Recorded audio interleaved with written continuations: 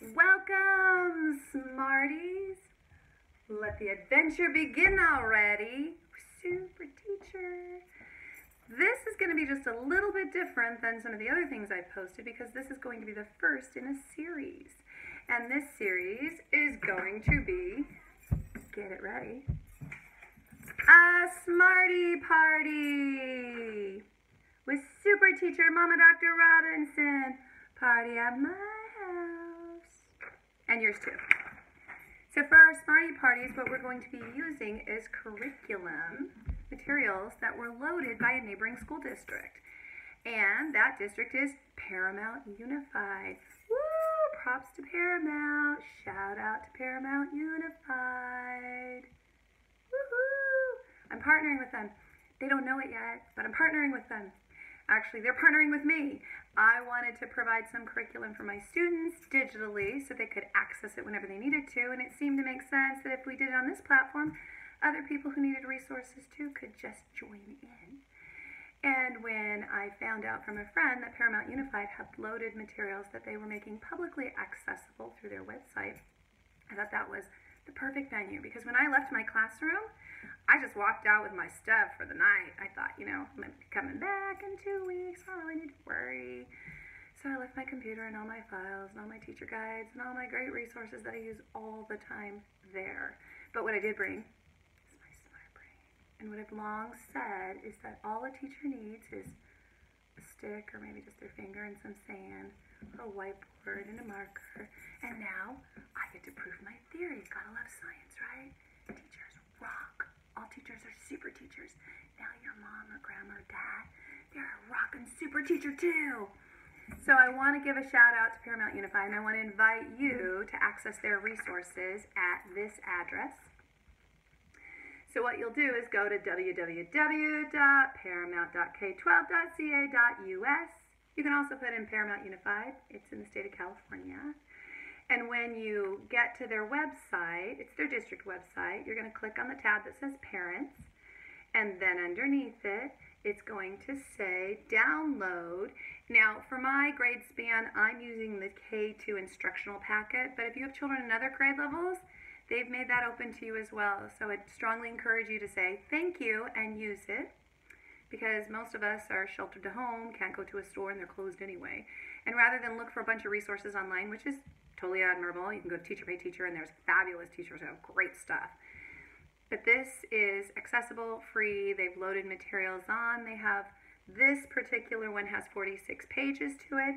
It has kindergarten ELA and math work packet, but it's for other grades as well. And I'm a TK teacher, so I'm doing this for my TK students specifically, and my former TK students who are in kindergarten. But if you have children that are a little bit younger, a little bit older, they might like this as well. And as a parent, I'm hoping to provide some resources here to help support you in your journey, your adventure, your corona venture, your coronavirus adventure. So, yay, Paramount. So, what I'm going to do is I'm going to use some of their resources. Now, when you get to the one that I've spotlighted, bookmarked, I'm asking you to use. This is what you're going to see on the cover. Kindergarten ELA Math Work Packet 2019-20. And I don't know who loaded it, but woohoo! Whoever did that, a teacher, an administrator, a teacher on special assignment. Thank you, thank you, thank you, thank you. I don't think they had a lot of time to prepare like any of the rest of us, and they didn't know for how long, so they just put in materials that could be easily accessible and accessed and easy to use. The problem is there isn't a lot of other instruction with it. So if you have a struggling learner, you might be tearing your hair out in two hours when they don't get it yet and not knowing how to kind of drive that instruction. And if you have an adapted learner or a gifted learner, they're done. Now what? Are we there yet? Are we there yet? Are we there yet?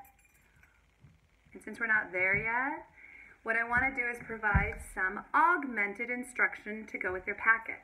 Now this is the first page that I'm using and if you see I have it folded in half because they have the ELA and math packet built to where there's an ELA and a math activity presumably for every day but I'm only going to focus this lesson on one piece of it. So today this is what we're going to focus on on this video is this write the missing beginning letter. So if you were to just hand this to your child, which would be totally fine, they would easily maybe see pictures, say what they saw, figure out the beginning letter. There are some ancillary materials that I would encourage you to have on hand before you put this in front of your learner, and that is some alphabet charts. Now, Paramount hasn't loaded them yet, but maybe they will after this. But even though they haven't, and I didn't have one at home, I just went on and picked something that was free to download. I'm not providing it because it's not my materials, and we don't really have a central place other than this for you to access content. So I can only speak it into the air and show you. So what I want you to do is get one that has pictures that go with the letters and preferably look for text that is what you would expect your child to write in manuscript. Sometimes there's really cute fancy fonts, but if that's not how the school expects to see your child writing, then that's not what you want to put in front of them for these tasks. And if you have something from your school already, because a lot of schools already gave students those, use what you already have because it ties to the materials they've already learned so they already have an anchor back, and that's a lot easier than reteaching. I didn't have anything, I didn't provide my students with anything. I'm going to email them stuff. But this is just something I found online.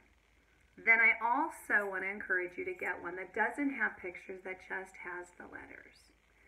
Now, one of the things you probably noticed is that I used a red pen and I kind of highlighted not highlighted with a highlighter, but I made it made you aware as a learner that there are some letters that need to stand out.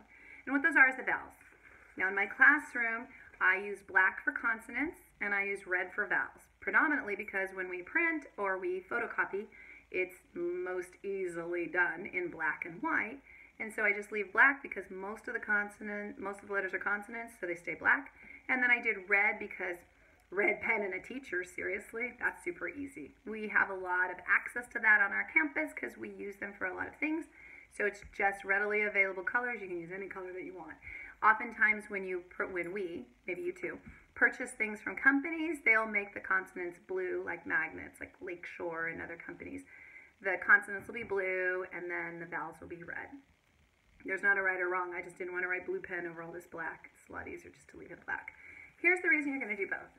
Because what you want to do is use these as teaching tools in the event that your child can't generate just from memory what letter should be placed onto the missing letter line.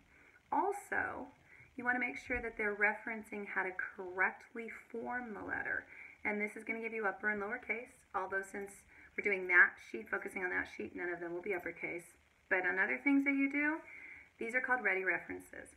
Now what I did is I put a red box around all of the vowels because I want my kids to differentiate between vowel and consonant and it's easy to just teach it on the go.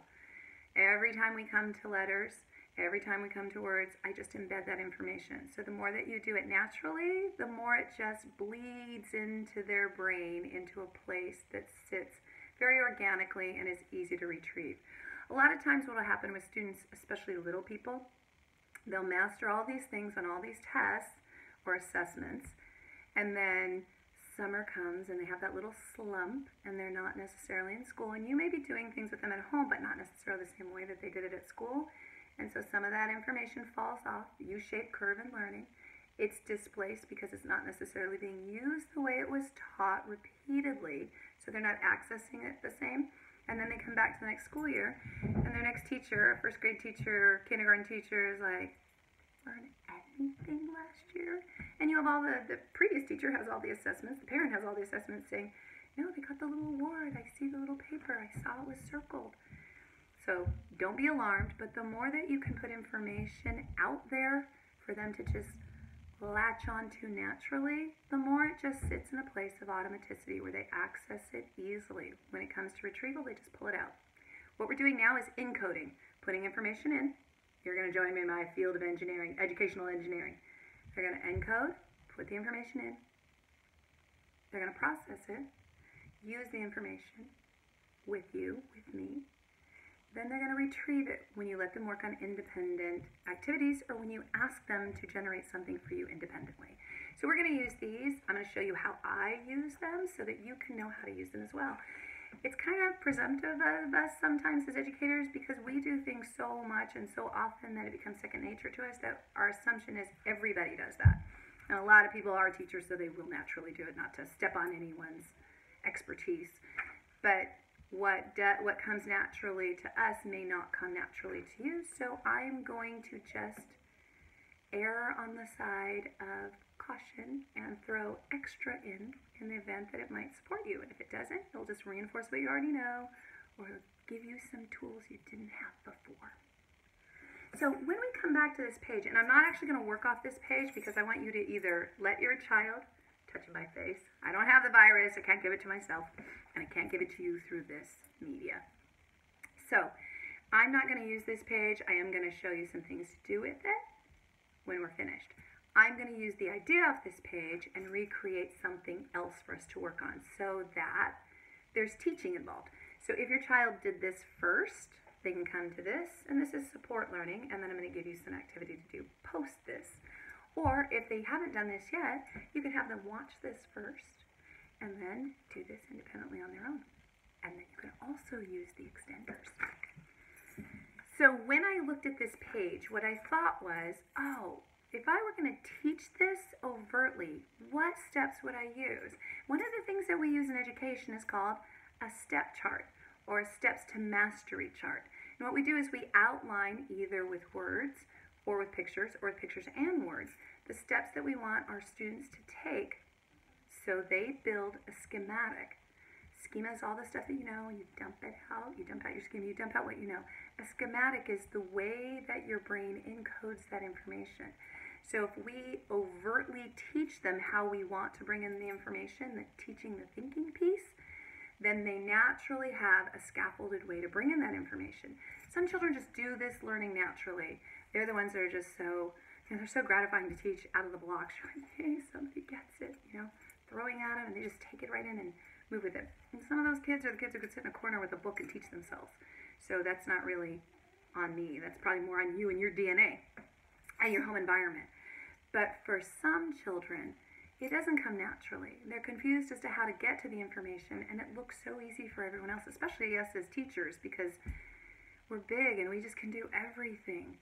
So it's okay to struggle in front of them a little bit too, so that they see the struggle is real and it's all of ours. So I wanted to share my steps to mastery chart for this lesson.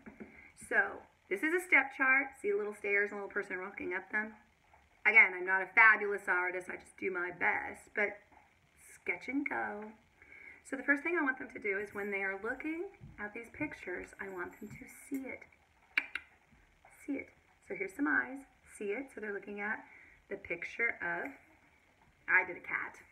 Here it's a dog. And then the letters, the line for the missing letter, and then the letters that are there. Then I want them to say it. So they're going to say what they see.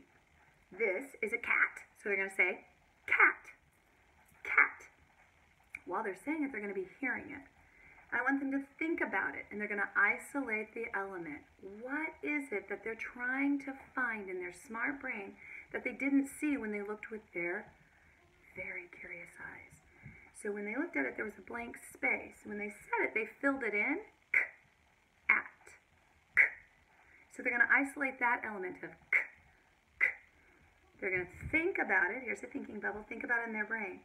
And then they're going to find the symbol for the k. First, they're going to look in their smart brain. And they may have it. If they can't find it in their smart brain, this is why you want a chart. Now, some learners can locate the symbol on the chart easily and they don't need any support. Some learners are going to need some ancillary support, and that's going to come in the form of the picture. Now, you, as their home support provider can help them isolate it. So if they just randomly pick something, let's just say they pick this cat. That's the symbol. And in your mind, you're saying, honey, that's. No, no, it's not that. That's not it. It's right here. Ah, put on the brake. Back up the bus. Let's replay and let's do it differently. You want them to do all the work. That's already in your head, and that's great, but it's also in their head in some form. So all you're going to do is throw out a lifeline to them. You're going to make them use their own strength to grab a hold of that ring and pull themselves over to the boat. And then you're going to help them kind of get on get on top of the boat. But you want to make them do as much work as possible. And you'll have to gauge it with your learner. But what you would say, what I would say, encourage you to say is this. Oh, that sound goes with a symbol that's in this line. Can you find it? So now you've isolated that. So if they went there, and what I would also do is cover what they've done so they can't go anywhere else. So now you've narrowed down their choices. They can't go anywhere else. So maybe they'll accidentally pick the right thing, or maybe they won't. Maybe they say, oh, that's it. Cat. Cat. And you're thinking that's a bear. I know that's what we think too. Like, be concerned. Be very concerned. What are they thinking? Clearly they're not. And then what you do is instead of saying, no, no, it's not that, it's this, because what they do is have learned helplessness. They just wait for you to tell them stuff and then they copy it down, which means they're not really doing the work. Our goal as teachers is to jump them up on Bloom's taxonomy and the depth of knowledge charts, which are the ways that we think, and we want to up level it. We want them to go into deeper places to think. So even with little kids, you can do this. So what you're going to do here is, again, you're going to just throw them a ring. They got to get on the ring themselves. Now you'll isolate this and say, no, it's cat. K-at. Which of these? Now, obviously, you can see a cat, so that's, you know, going to make it easier. But if they couldn't see the cat, or if they picked the wrong one, now it's only between two. So you're still making them do the work. So they're either going to pick this or this. Let's say they pick this. Again, you're going to question, like, who you married and the DNA line won't be you. Or it might be you. Just saying. Okay, so let's say that they pick D. You know it's C. You still don't give it to them. You say D at dat. It's not a dat. It's a k at cat. So while you've told them, you haven't told them which one it is. You've just shown them which one it is. Then you cover it again and you say, which of these would you use for cat? Hopefully they're here. Otherwise, you do the same thing again. Don't change your tone of voice. Don't change the words you use at least the first time. Just reinforce. It's not a d at dat. It's a k at cat. Can you say k at cat? K at cat. You can even take their finger. K at cat. Then you give them back their finger. Then you say, which one is it? Eventually, they will probably come to the C. If they don't, you then can take their hand, hold it on it, and say, at cat. Which one is it? And then you can say, it's a k at cat. Which one is it? Once they've gotten it, you say, good job. I knew that you could do that. Good job. Then you want to get them over to the other chart. Which of these is the same as this? And again, you're going to want to isolate everything around it if they are a struggling learner. If they're not a struggling learner, you don't need to. But some kids can't differentiate between the pieces of information. And even though we can see it clearly and easily, their eyes are moving and jumping from side to side and they're not necessarily seeing what we're seeing. It can feel very frustrating to you as an adult because you can see it. You can see it. But they can't always just because you can when your voice changes, when your posture changes, when anything that's conveying to them your frustration or discontent or anger, they will read that and the brain shuts down instantly. They go into an amygdala response, which is a tiny little almond shaped place in your brain that's kind of here, back here. And it is our survival spot It's the guard dog for the brain. And what it tells us is danger, danger, danger, danger. Once upon a time, it was run from the tiger that's going to eat you to escape the parent who wants to eat you.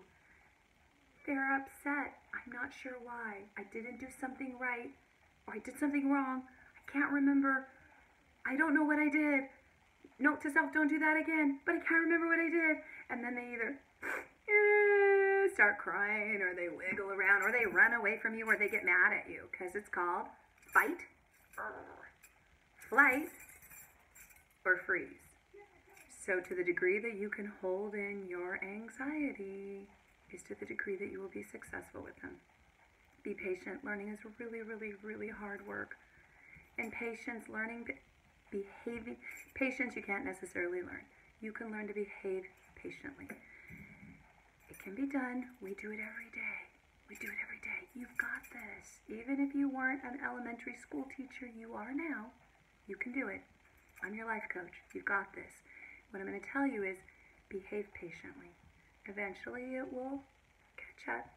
Just behave that way because once you do something that threatens them or they feel threatened by it, they shut down and your work just got harder. So if you thought you were frustrated a minute ago, try making some little five or six year old uncomfortable. Now, you're going to be real uncomfortable. So once they find it here, then they're going to transfer it to the page. Now, some of your kids will just be able to just write it on the page. Then I would make them come back and say, where is it on this chart? Find it fast. What is it in between on this chart? What is it above? Is it vowel or is it a consonant? Does the capital look the same as the lowercase? Where is it on this chart? What is it for? What is it start? What is a word that starts with k? Can you think of any other word? So you just want to just keep making them work, work, work, work, work. In my classroom, work is always rewarded with more work. In your classroom, work should always be rewarded with more work. Neurologically, they're firing. Make sure that you keep that firing going by just adding more to it. And it can be simple, simple, simple things. So then, once they have it in the chart or they have it in their mind's eye, their brain, you're going to have them make it in the air. Make it in the air. And they have to clean the air in case, you know, they left stuff up there from before. And make it in, the air. You can give them a little um, sing-songy chant as to how to do the letters. If they have one from school or a song, great. If they don't know one and you don't know one, you can make one up or you can look online. So you're going to make it in the air first, and you're going to see if you see what they're making is the letter that you want them to make. Then they're going to race it in the air, and then they're going to bring it down to the page. So here's the page, and then they're going to write it down on the page. So this is our step chart. See it, say it, think about it, isolate the element, then Find it in your smart brain, symbol in your smart brain, and these are symbols. If you can't find it in your smart brain, even if you can't find it in your smart brain, find it on a smart chart. Move from one smart chart to another smart chart, then make it in the air, then write it down there. Okay, so that just took something that might have taken them uh, three minutes to do, and now you've made it even longer. What you're doing in that process is you're teaching them how to do that over and over and over, not just on this page, because later, when they're not filling in missing letters, you're going to want them to generate their own words out of their own head and commit it to paper. This strategy is the same strategy. The only thing they're not going to do is be able to see it somewhere.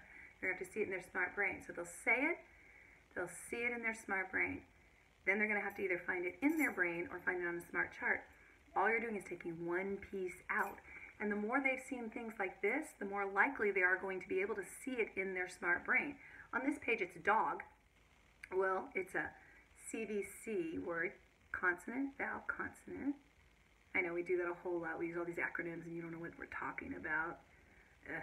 So, CVC, consonant, vowel, consonant if they've seen that, and it'll repeat itself on a lot of worksheets because it they can usually draw a dog, they know what a dog is, and it's a simple word using simple letters that are easy to construct because D, O, and G all use almost the same shape right across, so that makes it even easier. But if they've done this kind of work and seen this a lot of times, they're going to transfer that to other things pretty quickly. So, they might see it in their mind's eye. So I'm going to do just a few on my whiteboard so that we can do them together. And then I'm going to give you some strategies for how you can extend this learning.